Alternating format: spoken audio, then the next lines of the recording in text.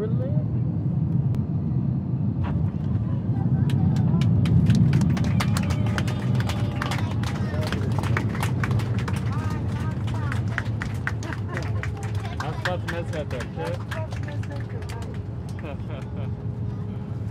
did it again.